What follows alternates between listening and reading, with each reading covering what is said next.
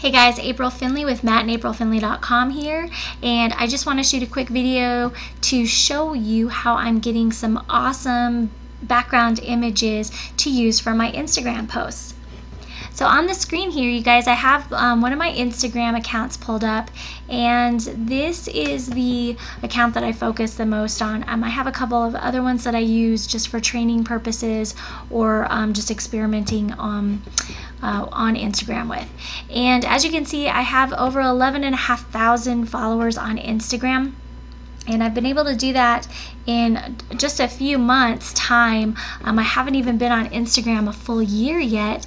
And I think that one of the reasons why I'm getting such a great following on Instagram is because of the uh, types of images that I'm posting. So the the key to posting great Instagram images is to always provide value to your audience and and to make images that are going to capture their attention and have them hungry for more so that they're returning to your account time and time again and uh, just to kind of show you guys a little bit of um, a little sample of the type of posts that I do on Instagram. Um, I do uh, posts that talk about uh, you know you know motivating people, getting them into action in their business. Um, I talk I do marketing tips and mindset tips. Um, like this one is about branding yourself online. Um, and here is a great inspirational quote uh, that I did the other day. So um, those are just kind of some of the things that I'm going to show you on Instagram. And so let's get started.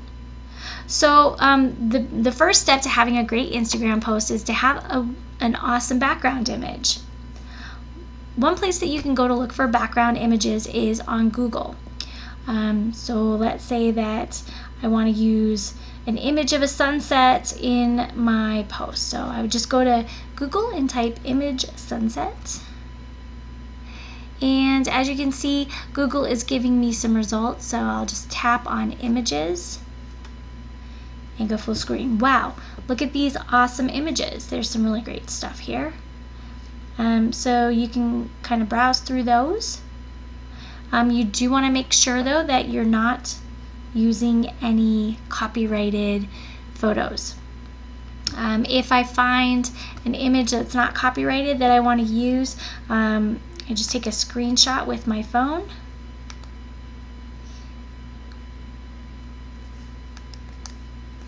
And then that image will show up in my camera roll.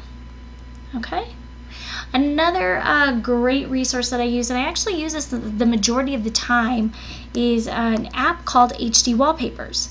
And I use HD wallpapers because it serves the same purpose. It gives me amazing images for um, the backdrops of my Instagram posts, and it's also a, a free app that um, I can use without uh, breaking any copyright laws. So there's the HD Wallpapers icon. You can download it in the Google App Store or the iTunes App Store. And um, once we get it open here, I can show you uh, an example of some of the things that we have going on here in HD Wallpapers. Um, so this is under the abstract category and um, I just love these images. They're they're so they're so cool and colorful. Um, really just gets your mind going of thinking about you know the different ways that you can use these to create awesome posts on Instagram.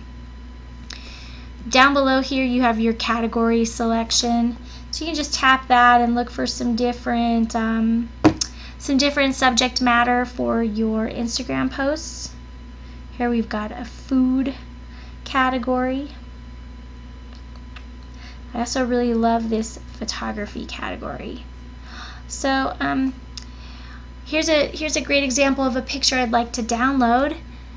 And to download that picture, I'm just going to hit this icon right here, the down arrow in the circle.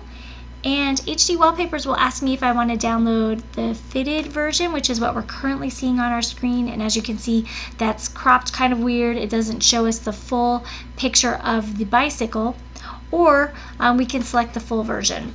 I always go with the full version, um, you know, just to give myself the the entire picture to manipulate and modify with, with when I am designing this Instagram post. And so if you have the free version of HD wallpapers, you're going to get these ads every time you go to download something. It's not a big deal. You just close the ad and now this image has been saved to our camera roll. Alright guys, um, I hope that you got some value from this video and um, you now are armed with some great knowledge of where to go out and get great images for your Instagram posts.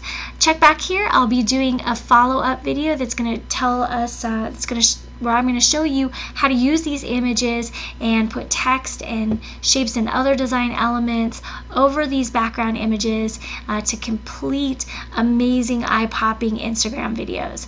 Also, be sure to check our blog, mattandaprilfindley.com for tips and tools to help you grow your business online. Take care.